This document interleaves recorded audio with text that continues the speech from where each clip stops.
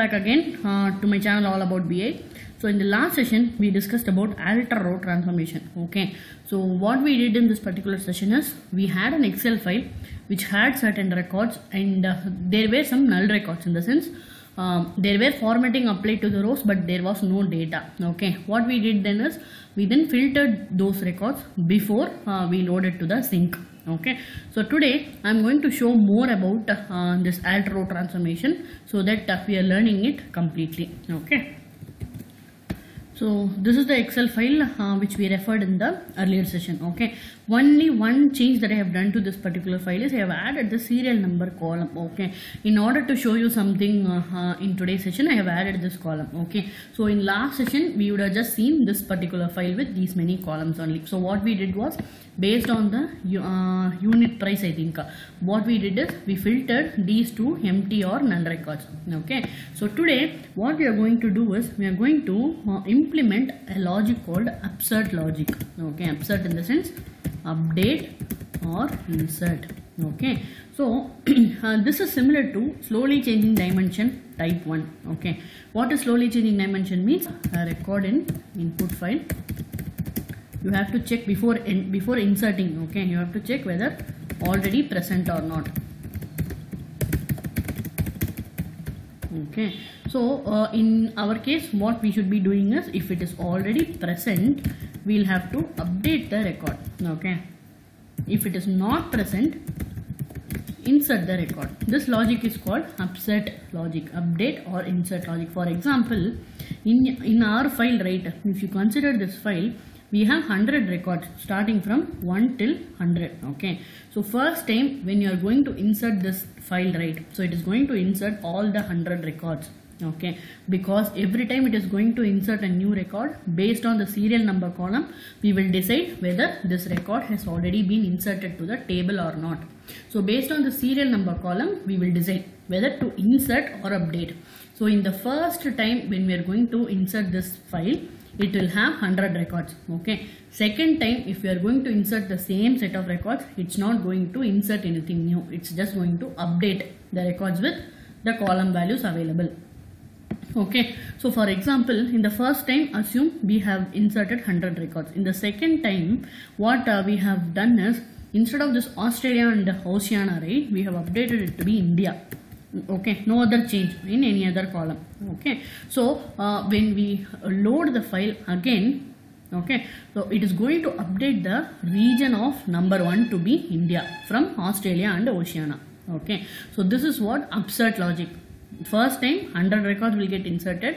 Second time all the records will get updated. In our case we can verify it by checking the region of india. If there is no other change it is just going to be the same okay even after loading the second time these all records will be looking alike. Okay we'll be uh, looking at a practical demo to understand more about it. All right so coming back to uh, azure data factory adf.azure.com right? So we have this data flow. So up to this we have implemented in last session. What we did is we have a source file column okay? Uh, in in this source file column we have just added serial number. So in last session we haven't had the serial number column. So what i did is i have pointed my source to the new file which is there in my uh, um, portal azure portal okay? Or blob storage. So we have these many columns and this alter row what it is doing is if uh, there is any null record or if there if the serial number is null we are asking it to delete. Okay? In our case we have implemented a serial number which is the primary key for this file or table. Okay? So based on this we are de deciding if there is no value for the serial number uh, column right? We will ignore that record or we will delete that from incoming data set. Okay? When i say we will delete from incoming data set we are not going to delete in the excel file just understand and those records will be pulled inside uh, the data flow buffer. So from that buffer only we are going to delete it. All right so um, in, in this alter column we have implemented this deleteIf uh, so what we are going to today I mean do now is we have to add one more logic to it which is nothing but upsert logic. So uh, there are other logics. We have tried just deleteIf there is insertif updateIf so this is these records these uh, conditions are similar to deleteIf you will have to implement a expression. Based on that expression it is going to decide whether to insert or delete or update. Okay? So now we are going to insert this i mean uh, we are going to see this upsert logic. So the expression for upsert logic is quite simple. Just write a true which will always be evaluating to true in the sense it will internally check whether to up, update or insert okay? So for each row what it means is for each row in the incoming data set it's going to check whether to update or insert. You can uh, you may ask based on what column it is going to check it. That is what i'm going to tell you now. For that right we need to add a sink to this particular data flow I have created a table in my Azure uh, uh, database, Azure SQL database. So I'll quickly log in and show you. So right now it's not letting me log in because we have to set the firewall settings. I have to add my client IP to the firewall so that it's not uh, blocking me from accessing the database. Okay. So once we are done with this, I can log in. I have uh, just imitated the same file in the Azure SQL database. So if you see this particular table, right, it has same set of columns as my input file. Okay, there is no change. But only one thing that we have to notice, we don't have any space in the column names. But in the Excel file, if you see, right, we'll have uh, space in the sales channel column, item type column, order priority, order date and order ID and all. Okay. So in the only change between the file and table is we don't have a space in the mm, column names for table. Okay. So uh, I will quickly delete the records. Delete from if, if at all something is existing, right? We'll delete it. Delete from t underscore sales date. Alright, so now uh, what we are going to do is first time we are going to uh, execute this particular data flow. Okay, but before that, what we have to do is certain properties in the sink uh, mm, data set. Okay, so we have to choose. Uh, let us see if this SQL uh, mm, data set is pointing to the sales data. Okay, TADF uh, sales data. We'll check T sales data. So we have to change this particular uh, table name. It has to, our data set has to point to the T underscore sales data. We'll quickly verify if uh, this is empty. Okay. Alright. So this is the data set we are going to use in the mm, data flow. Alright. So this is fine. So go to settings. Here you have something by default this allow insert will be checked. Okay. If you if you are going to perform an upsert or update right uh, you have to make sure you are checking this if you are not going to uh, check this option right then it is not going to let you execute the pipeline. Okay so what i'll do i'll uh, just check the upsert logic okay because we are going to implement it. Okay now once you clicked it right there will be appearing one more column key columns. Based on what column you have to decide whether you have to update or insert the records. That is what i told you right? Based on the serial number column we will decide. If the serial number is newly coming 1 to 100 means it is going to update if it is no, not 1 to 100 if it's anything other than that it's going to insert okay? So based on serial number column we have to decide whether to insert or update. All right i am choosing this. And then uh, see using this alter uh, row transformation right you will be able to perform uh, data definition language commands as well ddl okay? We are doing manipulation here dml commands. So you can implement a D, ddl commands as well. So if you are using that right you will have to uh, choose this option here whether you have to recreate the table okay? All right so uh, I have chosen this serial number under key column. So based on serial number, we are going to decide whether to update or insert. Okay. So once this is done, go to mapping once. So this mapping column is very important because uh, by default, right, if you switch it off the auto mapping, you have to add it manually. Okay. When I say we have to uh, add it manually, I'll first delete everything and will show start from the beginning okay? So when you observe our uh, uh, data source right i'll be showing something to make this uh, job easier. So when you observe this set of uh, input records right there are some columns which are mm, string type which are something or date type and some, some other thing or double type. So what we have to do in the sink mapping is we have to add those many columns which are present in our source file. I think there will be around uh, 10 to 12 columns i think. Let's quickly check. Okay. So we have around 15 columns. So uh, what we have to do we have to keep on adding 15 columns. Okay otherwise we can implement something called rule based mapping. This is what i discussed in one of my previous uh, uh, sessions. Okay which is nothing but uh, column patterns okay. So we are going to use, make use of that particular column pattern now. So i'm going to implement rule based mapping here. So my condition is just bring me all the columns which has the type string. Okay. Just bring me the column of, of type string. We have to give a uh, destination or sink column name here. It has to be similar to however we have declared it in the table name. Okay in our case right uh, whatever is the input column that is the output column. But with only one change that uh, we don't have any space here. Okay so we have to handle that.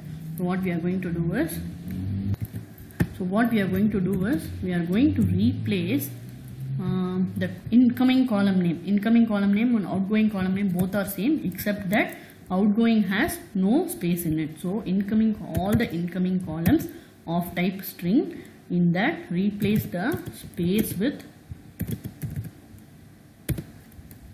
this empty string okay? We have to remove the space basically in, in between the keywords in between the column names. So this is how we implement um, the condition for string based column. Similarly we have to implement the condition for uh, uh, double column and date column. Similar similarly okay? Type of columns equal to double. If it is the case bring all the columns and map it to the same column name but make sure to replace the column names by removing space in between. Okay. So uh, you can ask me whether it will work or not. So for that only what we can do is we can preview the uh, results. Okay. If it's not matching it will not display anything. See there is uh, it's saying there is no double column okay no input columns are matched. But for string it is bringing us region country input type sales channel and order priority. So see the output name.